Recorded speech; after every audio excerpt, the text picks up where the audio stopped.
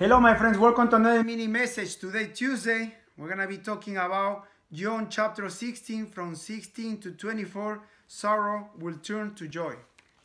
In a little while you won't see me anymore, but a little while after that you will see me again. Some of the disciples asked each other, What does he mean when he says, In a little while you won't see me, but then you will see me, and I am going to the Father?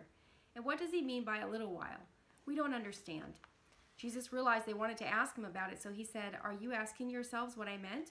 I said, In a little while you won't see me, but a little while after that you will see me again. I tell you the truth, you will weep and mourn over what is going to happen to me, but the world will rejoice. You will grieve, but your grief will suddenly turn to wonderful joy. It will be like a woman suffering the pains of labor.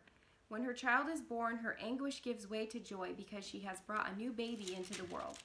So you have sorrow now, but I will see you again. Then you will rejoice, and no one can rob you of that joy. At that time, you won't need to ask me for anything. I tell you the truth, you will ask the Father directly, and he will grant your request because you used my name. You haven't done this before. Ask, using my name, and you will receive, and you will have abundant joy. Amen, amen. So Jesus was talking to them, to the disciples at that time, that, that he was gonna die in the cross, right? And he was gonna resurrect in the third day, right? So they, they were gonna be sad because he was gonna he was gonna die, and then he was gonna be resurrected, and then he was gonna ascend to the Father, right? And uh, but the people of the world they wanna be happy and they will be sad, but then they, they're gonna rejoice again. The sadness was gonna come and rejoice, and we're gonna explain that in a minute. As yesterday, we know that Jesus was gonna give us the Holy Spirit, right? So he, he was telling to the disciples before that that he was gonna there was convenient for them that he was gonna be gone, so the Holy Spirit can come, the consolator, the advocate, right? And to to live in their in, in their lives, you know. So going to explain, he says, uh, Ali, can you repeat number uh, uh, 16, please? In a little while you won't see me anymore, but a little while after that you will see me again. Yes. In a little while you won't see me, right? He was gonna die, then, we, then he was gonna be resurrected.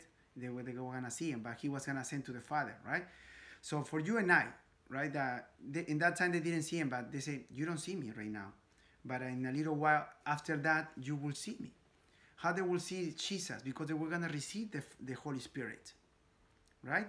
And as we know, Jesus was gonna live in them. The Father, he says, "I'm leaving. I'm gonna send the Holy Spirit, and the Father and I, I'm gonna live in you."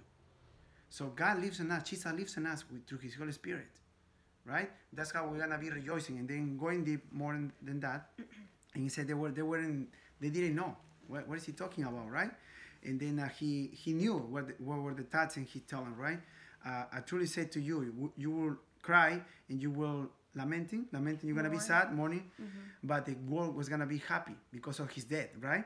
That He He died, and. Uh, but your uh, your sadness will gonna come in joy right? When they're gonna they're gonna see that that jesus resurrected the third day right? And they're gonna see he gonna they're gonna see him.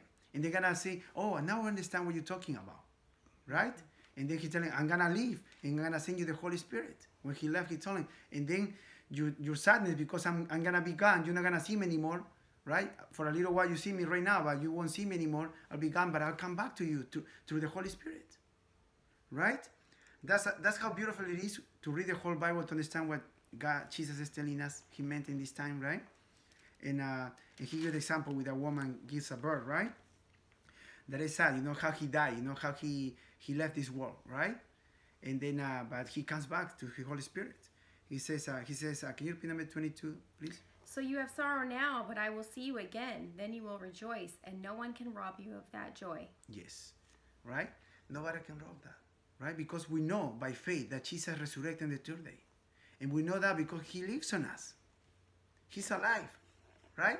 For us, that we don't see that we believe only, no? But for the, the uh, disciples in that time, this, they saw him die and resurrected and he was gone. They didn't see him anymore. But then the Holy Spirit came in them and they, they felt him. Because Jesus himself says, I'm going to live in you. I'm living, but uh, I'm going to come back. The Father and I, we're going to live on you. So when we come to the Word of God, to Jesus, He lives on us and we feel Him. Yeah, because He's the Word. And the Word is God, right? How beautiful, right? And uh, and He says, uh, can you repeat number 23 and 24, please? At that time, you won't need to ask me for anything. I tell you the truth, you will ask the Father directly, and he will grant your request because you use my name. You haven't done this before. Ask using my name, and you will receive, and you will have abundant joy. Yes. So when we ask everything in Jesus' name, He will provide for us, right? But how do we know to ask in His name? Because when we come to the Word of God, He provides His Spirit, and He we're gonna the Holy Spirit, Jesus Himself, God Himself, is gonna uh, teach us how to pray. We wanna pray according to His will, right? And He will provide. Because we're asking in His name, because we come in His name, we, we believe in everything He says. But if you don't read the Word of God, somebody tell you just mention the name of Jesus and you're gonna ask, if you don't know about Jesus, you don't know about God, do you think God's gonna listen to you? Because you're not coming in His name, you don't know how to ask because you don't have the Holy Spirit.